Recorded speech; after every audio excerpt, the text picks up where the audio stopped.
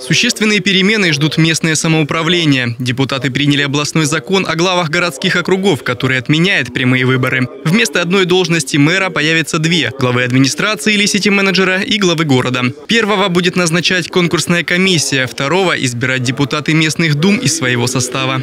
У нас вводится такое понятие, как глава администрации, который будет э, назначаться представительным органом по рекомендациям комиссии, которая будет избираться из состава представительного органа и а, правительства Ростовской области. Система не нова, не первый год она работает более чем в половине столиц российских регионов. Задумка реформы – назначить на должность сити-менеджера эффективного управленца, который будет ведать вопросами финансов и хозяйственной части. По словам Виктора Дерябкина, новая система позволит усилить механизм парламентского контроля деятельности глав администрации и их ответственность.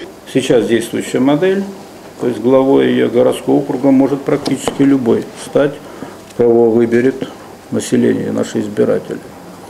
А, при этом э, никаких ни требований не предъявляется ни со стороны законов, нет нормативных актов, которые бы говорили, что вот глава должен соответствовать таким-то требованиям в части образования, в части опыта работы, управленческих качеств и прочее, прочее, прочее.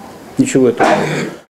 Закон вступит в силу с 1 января 2015 года. В Ростовской области под него попадают 11 городских округов. Это значит, что с окончанием полномочий действующих мэров новых руководителей будут назначать уже по-другому. Предполагается, что в 2015 году так произойдет в Ростове, Волгодонске, Гуково, Донецке и Каменске-Шахтинском. Депутаты отмечают и другие преимущества – финансовые. Конкурсный отбор сити-менеджеров позволит сэкономить на выборах до 200 миллионов рублей. Эти деньги планируется потратить на развитие городов. Кроме того, парламент принял поправки в избирательное законодательство. Изменился порядок голосования на областных и муниципальных выборах. На смену волеизъявлению по открепительным удостоверениям пришло досрочное. Возможность голосования по открепительным удостоверениям отменяется, заменяется на возможность досрочного голосования.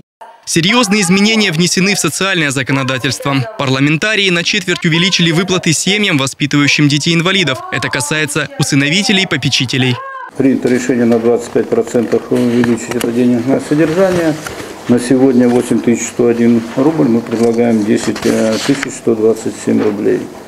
Сегодня на Дону у опекунов и попечителей находятся 178 детей-инвалидов и 46 таких детей живут в приемных семьях. Примечательно, что пособие решено увеличить с 1 января текущего года, а для этого необходимо его пересчитать. То есть с принятием закона семьи получат компенсацию за разницу в выплатах за прошедшие месяцы. Законодатели надеются, что после принятия этих поправок найдется больше желающих опекать детей с ограниченными возможностями. Сергей Мирошниченко, Анна Ларченко, Сергей Зайцев. Главные новости.